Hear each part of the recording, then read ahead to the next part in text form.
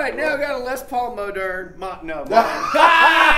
Cut Well, that. It is a Gibson. No, no, no. Keep it. Keep no, it. no, no. It's a, it's a. Oh, I'm sorry, man. You know where my heart is. I, hey, my heart's there too. I'm with it. I'm with it. I'm with it. That was, that was that was a, a, a little power of suggestion. I say the I'm motor. still motor, working that still working it. Okay, we can do uh, it. We can do it. This is a new Epiphone motor. Modern. No, All it's right. not. No. Oh, but wait.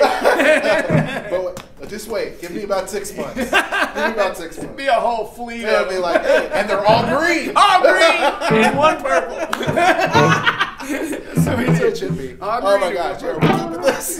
yeah, we're keeping Might as all well. of it. It's fun as hell. Man, this is great. This is the inner workings of your music industry right here. This is Exactly. This, This is you don't know what happens behind the scenes, but what happens behind the scenes is you got guys like us that are now in control, That's and right. we're making the And we're decisions, making cool and we're gonna make green moderns. That's right.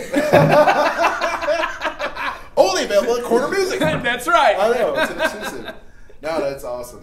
Okay, the modern, Les Paul modern. Yes, a Les Paul Yes. Modern. So we wanted to uh, still maintain the classic Les Paul shape, but in the back we've got something great. We've got yeah. this brand new access, this this heel joint here, so you have extended reach into those upper frets. But once again, you still maintain that great, you know, Les Paul chunk, Yeah, which yeah. everybody loves. And speaking of that, because it's modern, we also have modern weight relief in this back, this mahogany back as well. So it's a little bit lighter. You've got the access. You also have the neck, which is asymmetrical, Yes, so it feels does great. conform to the hand very easily.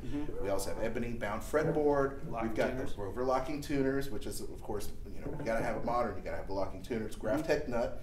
And this one in particular, we have the we've got the plain tops, but we all with the graphite uh, black, and then we've got the uh, sparkling burgundy, Right, right. really nice uh, plain tops. But with these, we want to do the figure tops. And this is Caribbean Blue Fade. Caribbean Blue, man. Caribbean so uh, you've got this really nice figured t- uh, uh, veneer on a maple cap, and I think it looks gorgeous. Makes me want to sit on a beach with a with a drink with an umbrella. in. Honestly, ma- I, every day, every day of my life. Yeah. Um, coil splits and the phase, Phase switch, switch. here. Mhm. You got the Pro Buckers. Um, what more do you need? I mean, the, the Pro Buckers are Epiphone's Burst Bucker two and three clones. So you want that Gibson kind of, you know, an airy sound of those Yes. vintage PAFs. Mhm. A little underwound.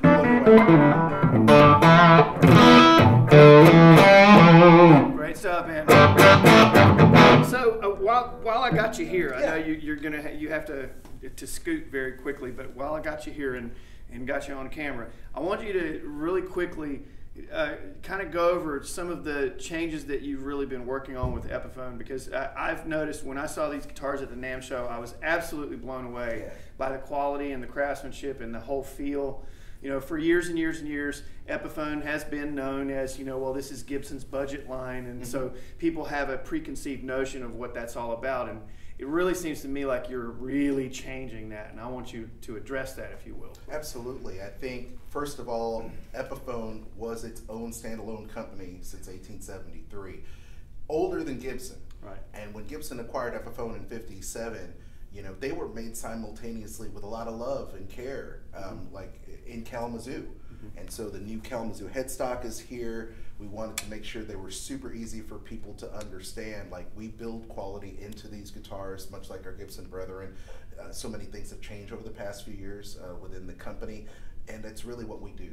We're guitar players obsessed with quality, obsessed with performance, obsessed with giving guitar players the tools that inspire them to play.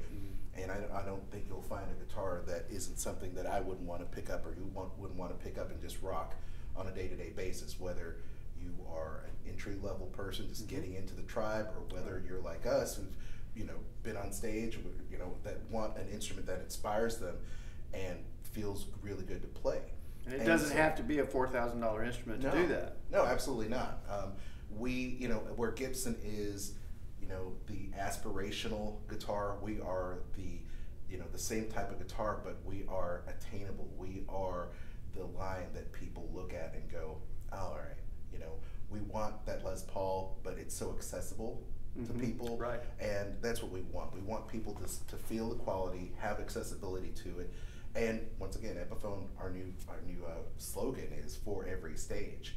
Uh, whether you're on stage at the biggest arena in the world, Right. or whether you know, like Keith Richards playing at Epiphone Casino, Right. Or whether you're at a coffee shop, you know, whether you're just sitting around the campfire with some friends, you have a quality uh, instrument that inspires you. So we build in the quality of this guitar. We wanted people to look at the Gibson line and know that they could get an Epiphone equivalent guitar that is accessible with a modern Right. uh, range and the original range of guitars. So if you want a Les Paul standard and a 50, 60 spec, just like Gibson, we've got it, right? If you want a modern Les Paul or modern SG, we got that. Got that too. You know, because Gibson has it, we have it. And it's not called a G400 SG anymore, it's just called an SG, Right. right? It's a Les Paul.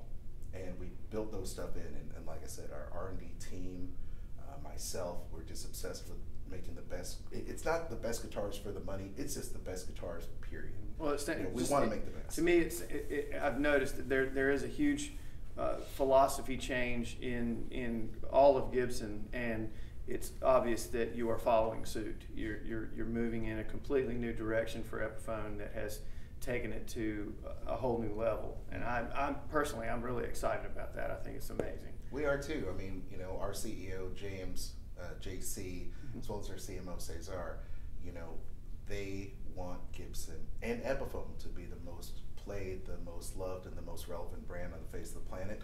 And it's because of players like you, um, stores like you, that we get the feedback and we absorb this knowledge and we're able to implement it across the range. We listen to people and we're implementing it because we care about the guitarist Right. and that's really what it's all about because we are we are guitarists as well Yes. you know and we're not going to put out stuff that we feel is not representative of what we can be there's a lot of pride in our global team overseas in the states and every bit of these guitars that are put out there that's a piece of us it's going to you Right. That's amazing. yeah There you have it. I just wanted to touch on that for a brief moment because there's really, really great changes happening in this side of Gibson's company. And uh, this man here is one of the main reasons why. oh thanks man hey and we appreciate you supporting our brand Of course, absolutely. thank we you so much Do is everything we can. Thank you. everything we can. All right, let's play some more guitars.